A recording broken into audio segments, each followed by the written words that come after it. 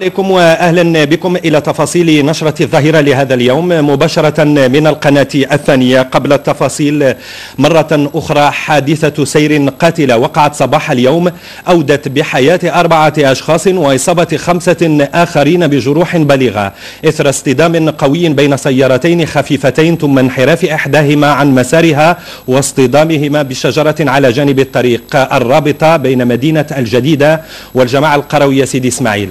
ثلاثة أشخاص لقوا حتفهم على الفور فيما فرق الضحية الرابعة الحياة أثناء نقله إلى المستشفى.